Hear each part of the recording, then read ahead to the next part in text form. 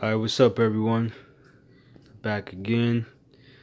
Um, I had a request to do a video of my setup. So this is what we're going to be talking about today. Right now we are focusing on my three cages. The one at the bottom, I have my uh, male blood python in. He's in his hide at the moment.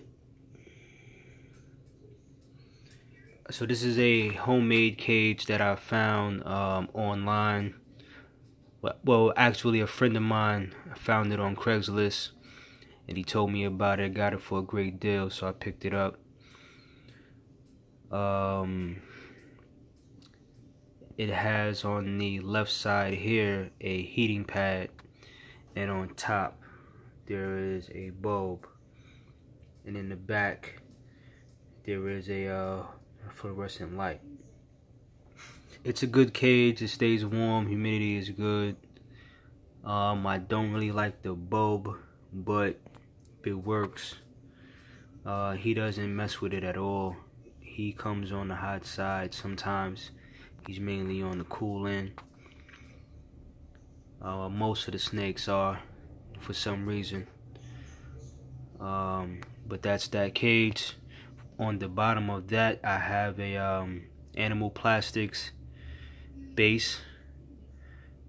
Being that this cage is bigger than the other two that I have on top,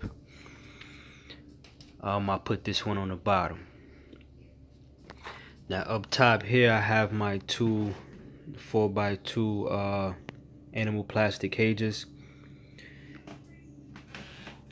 these little hinges here I found on um, Amazon.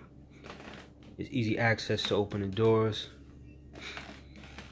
On this bottom cage here, I have my um, albino female. But I had inside her cage one hide on this side, which she's in, and I had another hide on this side. Um, but she's getting bigger, and it was taking up a lot of space and she had moments where she was doing a lot of moving around. And I felt that you know I would give her more space. And being that she's mainly on this side I kept that hide and I took out the other hide this cage is the same size cage with the pop in pop out divider I have my sun glow female on this side and my jungle male on this side uh, not really no decorations right now. They basically just want to hide as usual. So that's what I have in here. Just newspaper with some aspen. They hide under the uh, paper. You can see my jungle male there sticking his head out.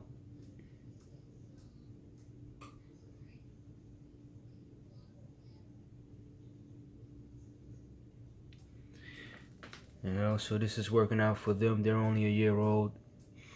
They got a lot of space in here, a lot of room to move around. You can see she's actually sticking her head out there also. You know. And next we have my rack. This is a 41 quart rack, four slot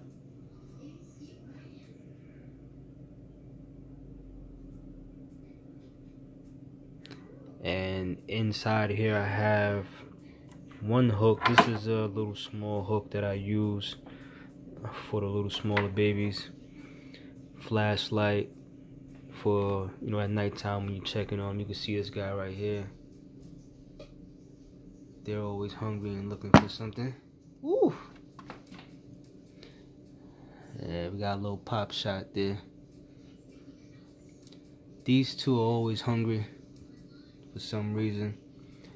I have inside here my male and female het leopards with a divider.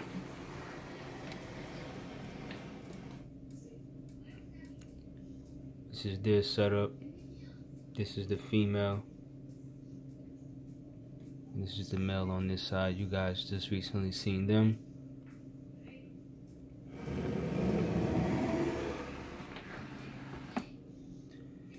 Heat gun. We always need that. So flashlight, heat gun, and hook. I also have another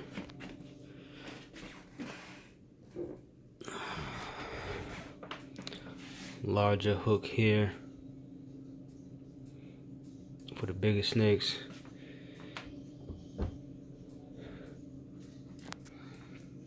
I'll show you guys this real quick.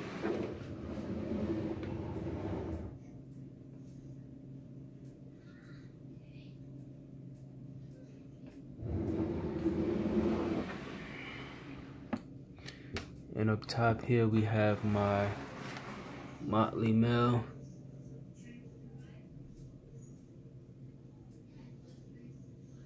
hanging out.